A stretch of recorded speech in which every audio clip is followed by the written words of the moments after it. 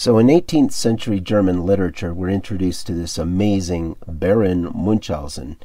And in one of his fabulous adventures, he gets out of a swamp by pulling himself up by his hair. It's a pretty neat trick if you can do it. In mathematics, we often do something like this. There's a modern idiom expressing the same concept to pull yourself up by your own bootstraps, which is really pulling yourself up from nothing. And mathematicians, also statisticians, often talk about bootstrapping, the bootstrap method. This is a term that can be applied in a way that I'll describe to you in the context of the following example. Here is a pretty amazing uh, sequence of polynomials. We start with 1, and then we go to 1 plus x.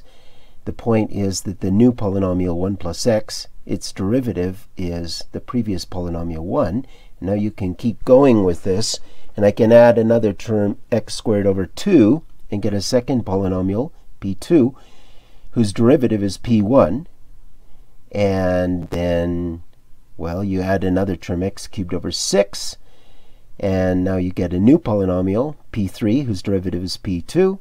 And so at each step, you're adding one more term to the previous polynomial, in such a way that the new polynomial has derivative the previous one in the list. And you can find a pattern in this sequence if you like and play with it a bit. It's, it's pretty amazing. It keeps going forever. But what I want to show you is how these polynomials are related to the exponential function. I'll show you graphically by first of all plotting p0, which is a constant 1, then P1 is a line, P2 is a parabola, and notice that these polynomials keep going up. Well, they have to keep going up because you're adding positive terms. And by the way, all these graphs I'm showing you are only for x positive. Don't worry about x negative for now. And let me add, for comparison, the exponential function on top of this graph. Now you've got this pretty amazing sequence of polynomials. They increase, they form an increasing sequence. But also, they all lie below the exponential function, and the limit of this sequence is the exponential function. Now, this is leading into ideas that are much bigger than we can discuss here in our course. It'll have to wait until a second course, a second semester in calculus. But for now, let me just point out some simple observations. One is that P0 is less than P1, is less than P2, less than P3, and so on. These polynomials go up, up, up. But the, uh, the other thing I want to show you is that actually all of these polynomials lie, their graphs are underneath the exponential function. Now that's a pretty ambitious goal and sounds ambitious, but we actually have all the tools we need to do this. And the ideas look like magic, but they actually work. So, well, we're going to start with a pretty modest fact. If you're doing uh, magic, doing a magic trick, at least you use everyday things. And Baron Munchausen wanted to lift himself up, but he just started in a swamp. So you got to start somewhere. And we're starting with a very basic fact that e to the x is positive. And what can we get out of this? Well, notice that eh, the derivative is e to the x, which, as we just said, is positive. Well, if f prime is positive, huh, that means f is increasing. What does that mean? It means if you go to the right, the graph goes up. For x positive, f of x is greater than 0. Let me rephrase that that says exactly that e to the x is bigger than 1. And that's, of course, just for x positive.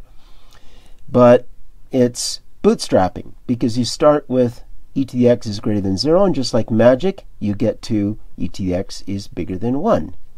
Well, let's do one better. Consider the new function g of x. I'll call it e to the x minus x. And this has derivative e to the x minus 1, which is positive, according to what we just said on the top of the slide. If g prime is positive, that means g is increasing. What's that mean? Well, it means if you go to the right, the graph goes up. So g of x is bigger than g of 0. And that means e to the x is bigger than 1 plus x. I had to move a term to the right-hand side, which now you can see how we are uh, getting better and better estimates, better and better lower bounds. Why stop there, right? Let's keep going. Um, so e to the x is bigger than 1 plus x. Now introduce a new function, h. h of x is e to the x minus x minus x squared over 2. So h prime is e to the x minus 1 minus x. But according to what I said on the top, that is positive. h prime is positive, that means h is increasing. And that means h of x is bigger than h of 0, at least for x greater than 0. And now if you write that out and move the constant to the right-hand side, you get e to the x is bigger than 1 plus x plus x squared over 2. Okay, well, why stop there? Go one more round. Just one more round is good. So e to the x is bigger than this quadratic for x positive. Now introduce k of x, which is this new thing that I've put in an extra term. And k prime is e to the x minus 1 minus x minus x squared over 2. But we just pointed out that that is positive, at least for x positive. So if k prime is positive, that means k is increasing. Ah, well that means k of x is bigger than k of 0 whenever k is whenever x is greater than 0. So we got e to the x is greater than 1 plus x plus x squared over 2 plus x cubed over 6. And we can keep on going if you want. Um, do as many steps of this method as you want. But it's enough to show uh, how the magic trick works. First, you start with your exponential function is bigger than 0. Then that means it's bigger than 1. That means it's actually bigger than 1 plus x. That means, etc. You just keep going. It's like Baron Munchausen. You know, he can how does he lift himself up? Well, if he can just pull himself up one inch, then maybe from there he can pull himself up another fraction of an inch, and then from there pull himself up even further and keep going, and eventually pull himself up all the way out of the swamp. Now let's see how we can use these bounds for something. And in a previous video, the previous video in my series, I mentioned a limit involving the exponential function. I want to show you at least one way to explain how to derive that uh, limit.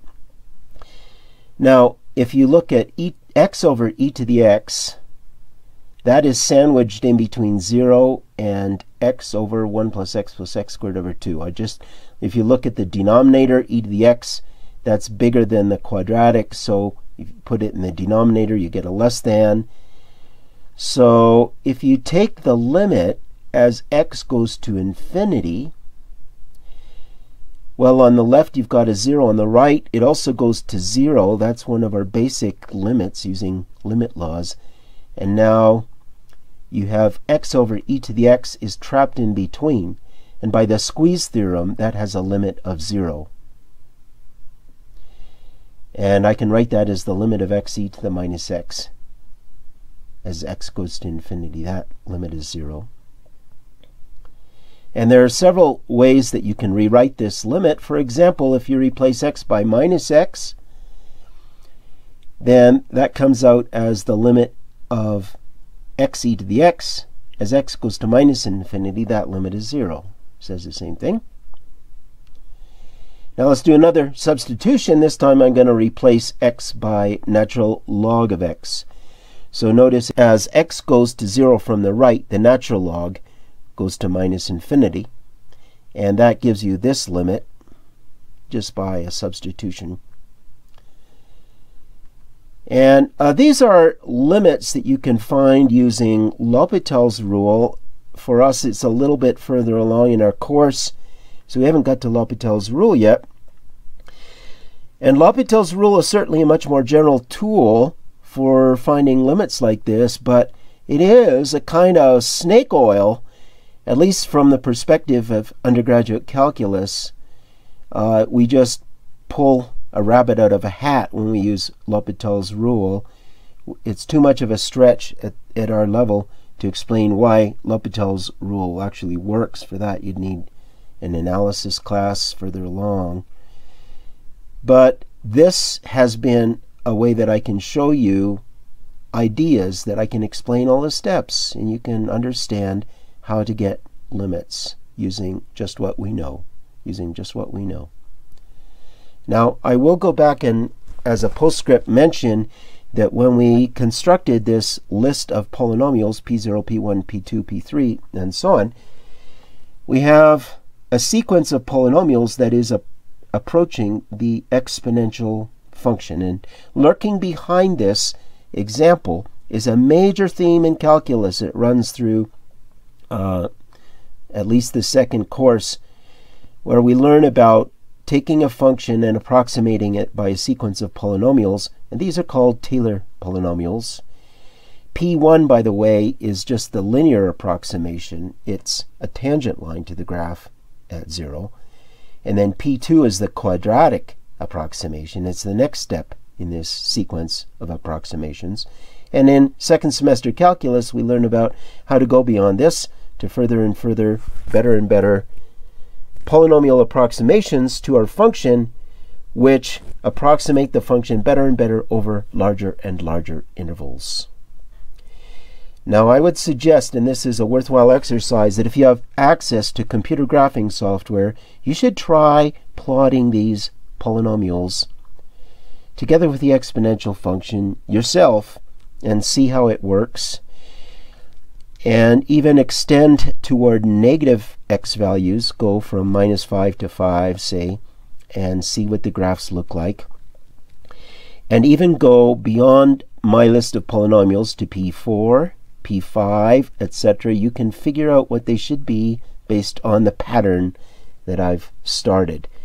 This will only take you a little time, but it will open up your mind to a lot of what calculus does.